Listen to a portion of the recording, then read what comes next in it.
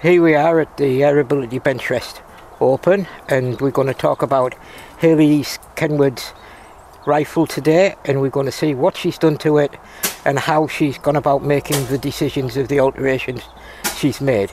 So, Hayley, can you tell us what your rifle is first of all? Yeah, it's an Air Arms HFT 500. And what scope do you have on there? I've got the Athlon um, 10 by 40 times 56. Is that the one with the target dot? Yes, it is. Yes, um, I did originally have um, one with cross fix, uh, cross fixers, um, but I noticed that I needed the centre floating dot. Perfect. So, your rifle is the actual rifle action standard from the box? It it is and it isn't. I actually had to have it tuned down. So, other than the tuning of the action, Yeah. is there any other alterations you've made? The only alteration I've made is, as you can probably see, it's not a standard HFT um, stock. So I've had a custom bench rest stock made for it. Who made that? That was Mark Sanderson um, gun stocks.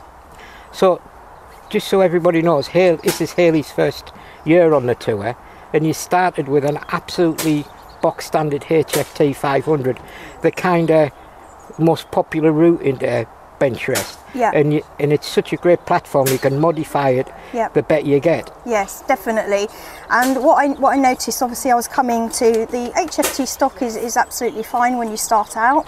But what I noticed, obviously, when I was coming here for the competitions, um, I I needed the bottom part of the stock um, to be less than um, 25 millimeters, um, and obviously the HFT.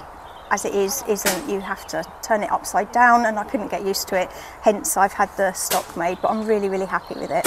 It's an absolute Bobby Dazzler, isn't it? Really. I chose the colours. yeah. I must. I must admit, personally, I, I, sometimes I love the stocks more than the guns. They make them really personal. Yeah, they do. Yeah. So, what back bag do you have on there? So when I first started, believe it or not, I was shooting off a glove. I had no backrest at all. Um, but luckily, someone from my local club was selling this. Um, so it's a Seb. It's a Seb backrest. Um, and it's got the, um, I can never remember what the name of it is, but it's got the heavy sand in it. Right. Um, And I can't remember what the name of the heavy sand is neither. oh, I can't remember. So we'll just call it heavy sand. Yeah, yeah. So this weekend you've been drawing a lot of attention, haven't you? I have. Yeah, yeah. I have. Because Hayley is um, probably bought the poshest bench rest rest anybody's ever seen in colour coordinated blue.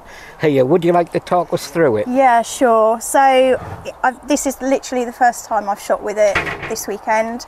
Um, it's the Sigani um, CCX. Um, so it's come all the way from Italy direct. Um, it's got the joystick. Um, I you noticed I got it in blue to match my stock. I need a, a, a blue rear rear bag next. Um, it- it's it's absolutely amazing. I've never used a joystick before, so this is completely new to me. Um, but yeah, it's so smooth. Um, when you set it um, in its position, it literally locks. So you haven't got to touch anything; it locks automatically. Um, so as you can see, that is not going to go down at all. Um, yeah, I, there's not much more I can say about it apart from it's the bee's knees. Well, well, I must admit, you, you let me have a fiddle with it earlier, and it's probably the smoothest joystick I've ever Yeah, had a go at. It's, it's very nice. yeah, yeah. So, well, thank you for giving me a couple of minutes of your time and showing us your your absolutely lovely equipment. Thank you. And um, best best of luck for the rest of the tournament. Thank you. Thank you so much.